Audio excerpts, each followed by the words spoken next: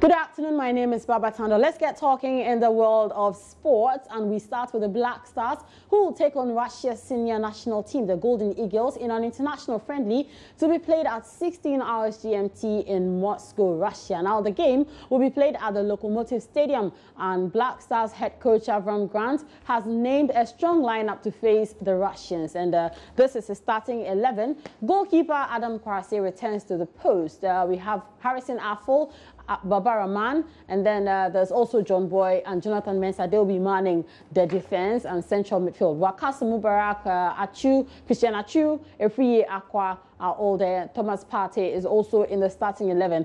Jordan Ayew and Frank Acheampong will lead Ghana's attack.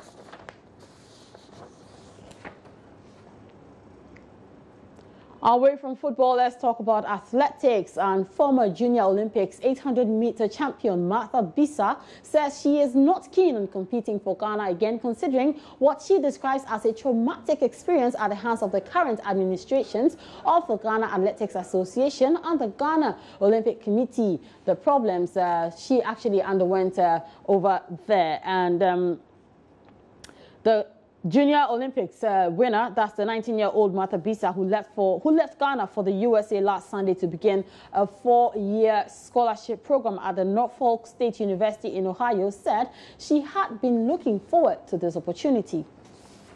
I must say I'm very happy because that's what I was I was waiting for, that a full scholarship. And I've worked hard because since I won that gold medal, there has been problem here and there. And Martha Bissah was a person that doesn't give up early. But since all this thing happened, it, it means like sometimes I wonder because I know I can make good things for Ghana and myself. But it came to a time that there was a problem here and there, and then I must say I'm happy for this scholarship. That's what I was waiting for. I was preparing to go to Cape Coast to compete. So I was full prepared and I was even making confident that this game I was going to do something. But they said they have suspended me indefinitely. I was I was worried because I don't know the reason why. Or the athletes, some because let me say something that I'm athlete that have not commit anything because all the athletes, even local based, they don't even talk to me. I don't know. That I met a young lady, I will not mention her name. He said, No.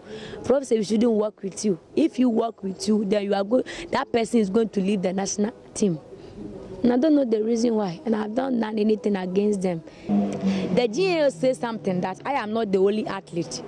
That everyone is saying Matabisa, Matabisa. I'm nobody. So I said, okay, if I'm nobody, Matabisa won the gold medal for Ghana in the first history.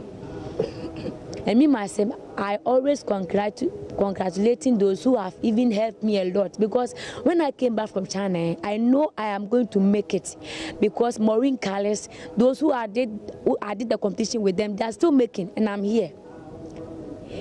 I've, I should have been going to many competitions, but I'm still here. I don't see the reason why. Now, when when you get to US and you start training, would you still want to work for Ghana? For that decision, for now, I will think about it. I will think about it.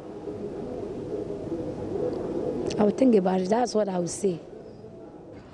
Let's still stay with athletics, but this time to the Paralympics. And this summer's Paralympics is set to begin tomorrow in the Brazilian city of Rio de Janeiro. Now, Ghana has three representatives who have struggled beyond measure to secure funds for their preparation for and participation in the multi-sport event for the disabled. Now, the situation, according to Ghana power cyclist Bocho Nkegbe, who failed to qualify for his uh, division, uh, according to him, the situation is sickening, for which reason he doubts Alem Mumuni, Ghana's first paracyclist at the Olympics, powerlifter Charles Nate, and high jumper Yusuf Amadou, who mostly sealed qualification to the event through personal struggles and financial support from individuals, can win in medals. I always say that uh, your preparation will determine what you'll get from any event. You know, looking at the able bodies, they went and they came back because they couldn't bring anything, and it really showed the preparation. The para athlete, we know that normally, if all hope is lost, we are the hope. But this year, there haven't been enough push on the parasite. So for me, I'm not be surprised if the parasite doesn't come home with any medal, but they will do their best. Every sports need a support from the government. If you look at some of the record of some of the athletes we are going to compete with, they are putting millions of cedis to invest in athletes. Athletes start preparing straight after the Rio is over or straight after London is over. Last four years, we all saw it what Right to Dream Sports Academy. They took four athletes and they all qualify. And this year, we have Ghana, all the athletes who are going, some of them fight on their own to be there. So this is where the government and our authority like the NPC, Association for Disabled Sports, need to be up and doing to make sure sports, I always say that sports is a job. So the ministry because we all know that Blaster, without playing the qualify, they can't be in the World Cup. That's the same way athletes need to pass through the qualification stage to be prepared to represent Ghana because they are going to raise the flag of the nation. They are not going to represent themselves. So I put the blame on the government and our authority, or the leaders, because we are athletes who are ready, mentally, physically ready, but without a push, you cannot do anything.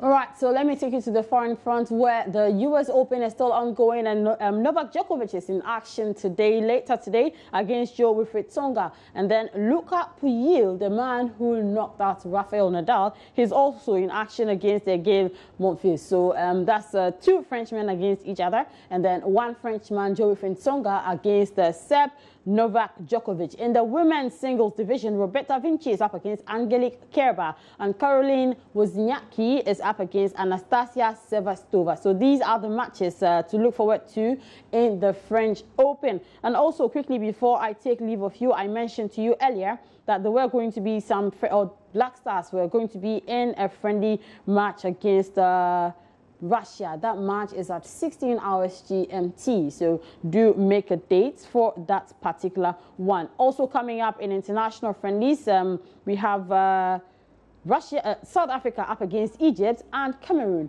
up against Gabon. So lots of African countries in action there. But uh, the match between, or the matches between Burkina Faso and Ivory Coast, Indonesia up against Malaysia, Kyrgyzstan and Philippines, as well as Palestine up against Tajikistan are facing some difficulties. So those matches uh, will not come off at the times they were supposed to come off. We'll update you on our sports page on myjoyonline.com where you can catch other headlines uh, uh, on sports as well. My name is Baba Tando. Good afternoon.